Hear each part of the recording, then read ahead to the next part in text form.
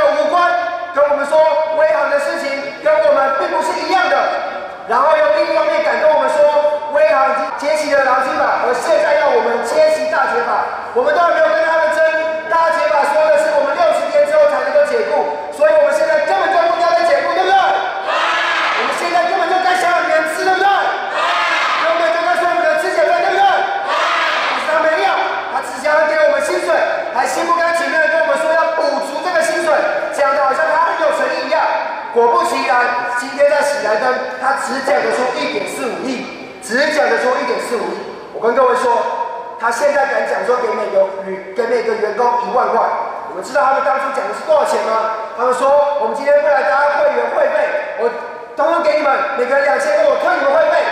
我知道你们有些人想要退会拿不到钱，说给你两千二。他说要给我两千，你接受吗？然后他说，要不然我有诚意一点好，double，我给你五千，五千块来跟我讲话。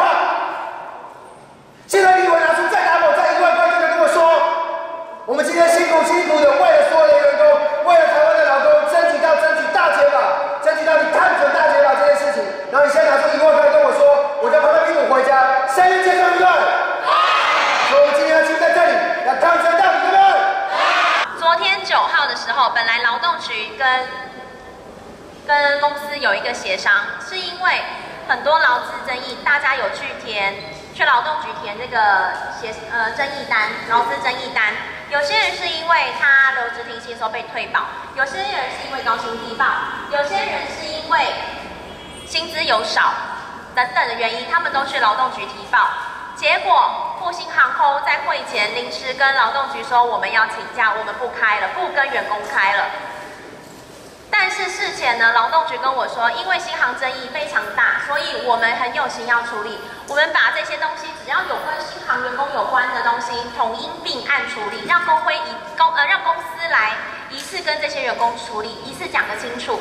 员工听得很开心，以为终于有解，以为他终于可以回去领失业金付，或是以为他终于可以得到他依法该得的。结果公司临时请假，我们再打电话给劳动局说，公司为什么临时请假？你没有办法吗？公司啊，劳动局说他没有办法阻止公司不请假。请问劳动局没有办法，所以这个政府、这个天、这个是这个国家就没有天良、没有公道、没有真、没有真理了吗？所以公司只要一辈子都请假，这些事情都没有人出来做了吗？然后劳动局跟我说，我建议你们改提诉讼，你们就去告公司好了。这是你政府应该要拿出来的解决方式吗？跟我说我们没有办法处理，你去告公司吧。新航争议案这么大，是你说你有你有你有这个职责，你有这个义务要处理，你也有你也有这个诚意要处理。结果公司一请假，你就要跟我说，好了，你们去告公司啊，我觉得这样比较快。这就是我们的国家，这就是我们劳动局。所以大家今天来到劳动部，我们就是要等到主管出来出面处理。我跟你们讲，上次跟林明生谈的时候，我也在里面，我也有上去。你们不要这样，你们不要这样，好不好？我们先出去。不要！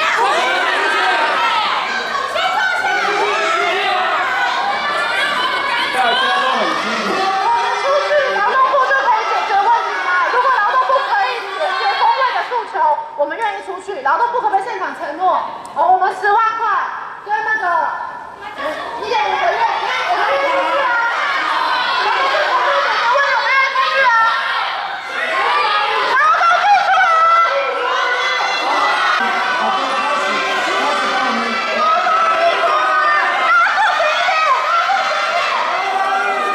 不要造成朋友，不要造成朋友的受伤，啊，不要造成我们民众的受伤。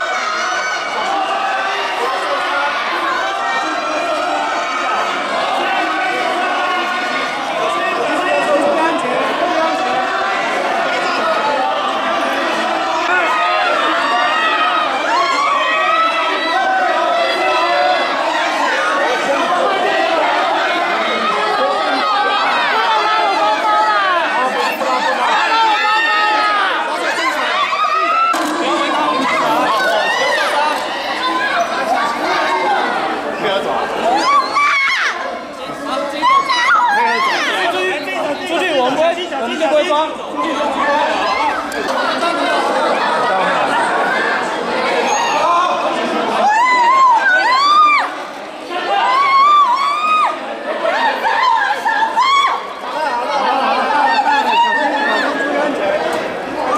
他在吵我，你有什么跟他说？要我好好各位请请小心玻璃哦，玻璃哦，玻璃哦，小心。自己手，小友自己手，啊，自己手，自己手，自己手。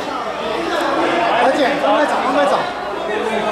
我们都明白了，今天在这一切，我们不可能退缩，已经走到这一步了，我们不可能，我们也没有理由退缩。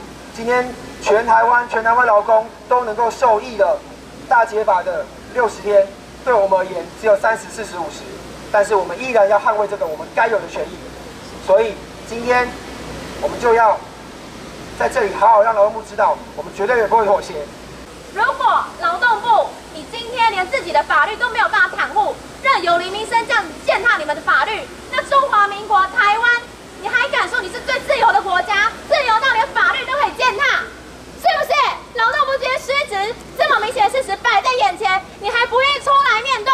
啊，明天就是十一月十一号的股东会，啊，也是工会跟公司进行第六次大减法协商的会议。那我们会在台北的建谈的国际会议中心召开，八点半的时候股东会他报道。啊，我们很多劳工也是股民，我们也会进场表达我们的诉求。我们的提案很简单，我们就是要求林家放弃自己的清算利益，然后让这些清算利益可以优先分配给受害的股民跟劳工。